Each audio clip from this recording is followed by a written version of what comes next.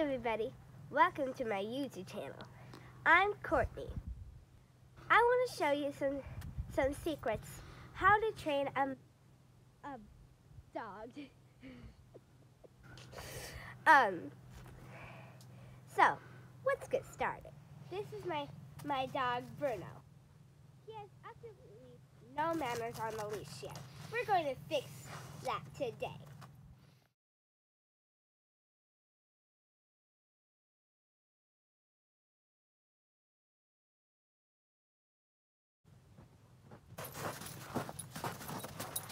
Who's walking who? Is your dog pulling you? I'm going to fix that. What we call this is called a walk and turn.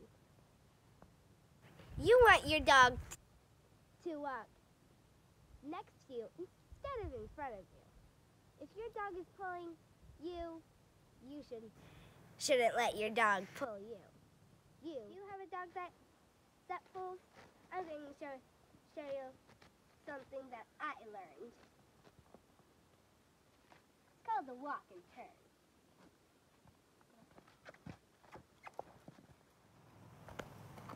Here come. This is what we're going to do a bunch of times just so he gets the the thing about going and, turning. Come on.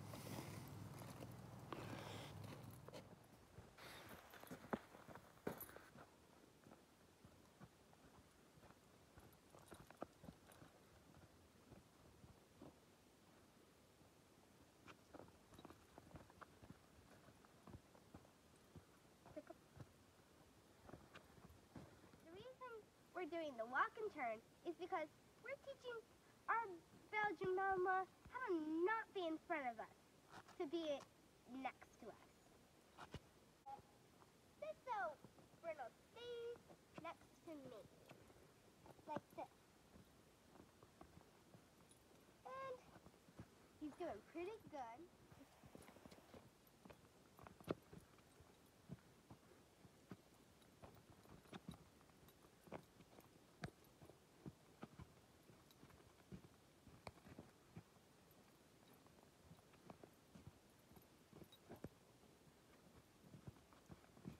Let's do this some more.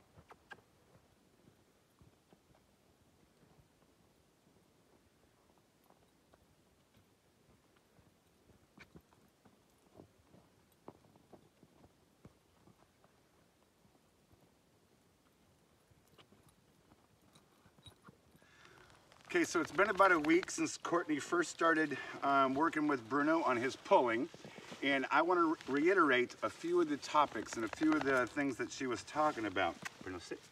Bruno, sit. So Courtney calls it the walk and turn. So if your dog's pulling you a lot and wants to run ahead, if you have a new dog or if you have an older dog, no time like the present. That's it. It's no time like the present to start training. Now Bruno's going to be a field working dog, so we haven't started doing a whole lot of heeling with him because I want him to be very confident way out in front of us searching for things.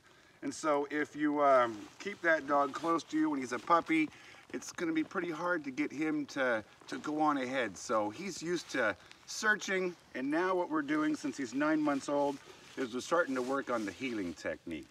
So basically, it's just um, if this dog gets ahead of you, you can give him a slight correction, but you want to just make a turn like this. He's doing very well. Come.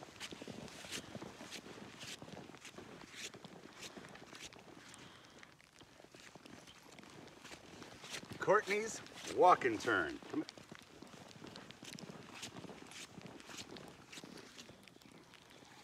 And so you saw how much he was pulling before. The other thing we can do, Courtney, I mean, Bruno sit, Bruno sit.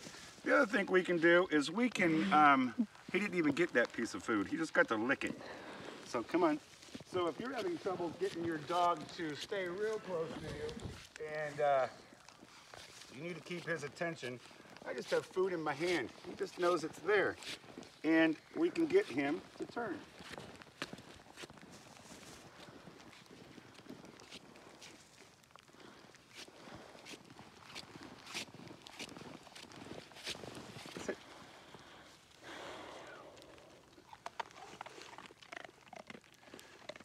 Gets a nice reward. So the walk and turn. You want to start in your house. If your dog's getting crazy when it's time for the walk, you're going to pick the leash up, and if he goes nuts, put the leash back down. And you can do that 10 times, 20 times. If you got a crazy dog, you may have to do it 100 times. But you want to wait for that dog to stay calm. The next thing you're going to do is put the leash on the dog. And if the dog's pulling you towards the front of the, the, the um, front door, again, turn, walk away from the front door, and go back until your dog learns that this is a routine. I'm following you. You're not going to follow me. So we want to make sure the dog just realizes that wherever we do, he's got to follow us. So don't go outside until your dog is walking pretty calm and not challenging the front door. Then you can go out the front door. You're going to go first. And then do this in the front yard for a while, maybe a day or two, where there's really no distractions. And so later this week, we're going to head downtown where there's a lot more distractions and a lot more people and uh, work on his, his technique. So, the walk and turn is what Courtney calls it.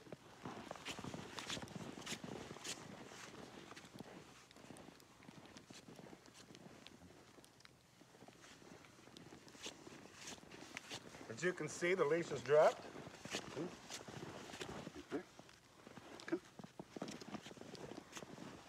I got no food.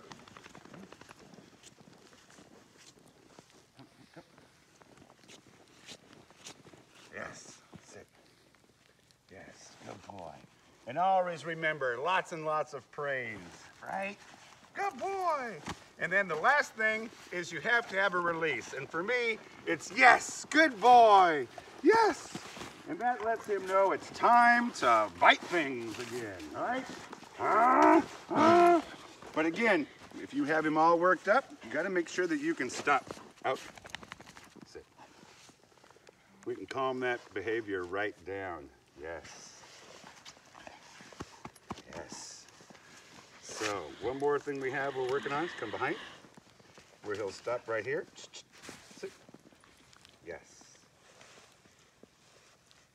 So don't forget, hit like, subscribe, share with your friends, and if you have some dog training questions, talk to Courtney and I. We'd love to help you, okay? Cheers. Peace out from Juneau, Alaska.